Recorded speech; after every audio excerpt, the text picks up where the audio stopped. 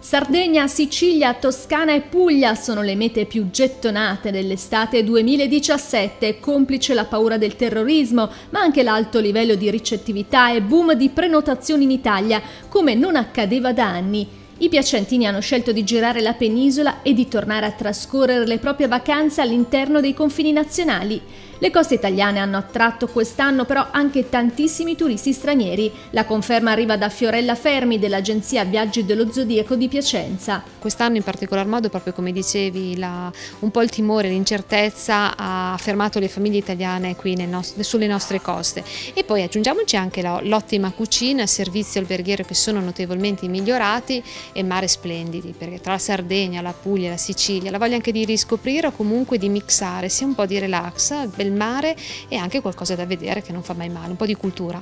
Sicuramente la Sardegna offre tanto, sempre molto richiesta, abbiamo veramente anticipato tanto le prenotazioni perché l'Italia è piaciuta agli italiani ma è piaciuta tanto anche agli stranieri, per cui dovevamo un po' litigare per trovare poi i posti.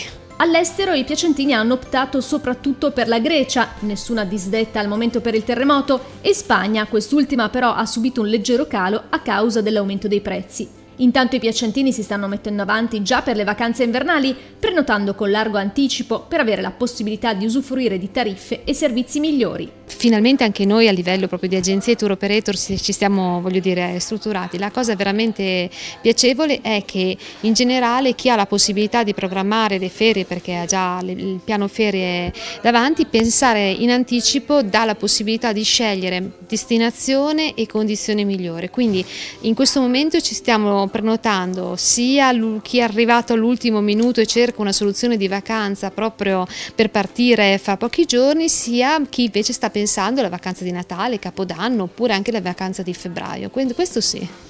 I consigli per non rovinarsi la vacanza? Avere tutte le informazioni, controllare assolutamente i documenti perché insomma i controlli ultimamente proprio per la sicurezza sono sempre sempre molto fiscali e rigidi, quindi ecco controllare di avere i documenti in regola e poi voglio dire di aver scelto la combinazione delle strutture sicure per avere poi la vacanza che uno cercava e che voleva fare.